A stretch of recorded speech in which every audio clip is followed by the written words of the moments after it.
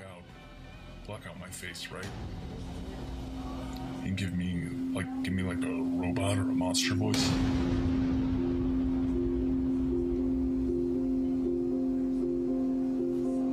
I was a senior analyst for the United States Central Intelligence Agency for 33 years.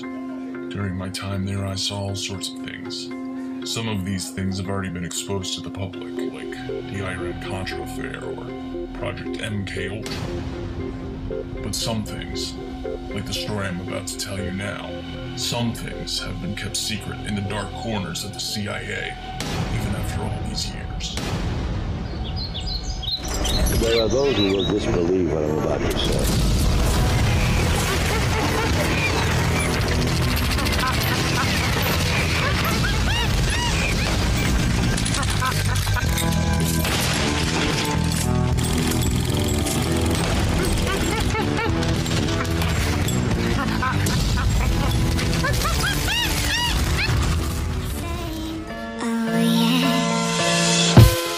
Just taking it one day at a time. Still don't know what I'm trying to find. Really, I don't mind, cause I'll be fine. Yeah, I'll be fine.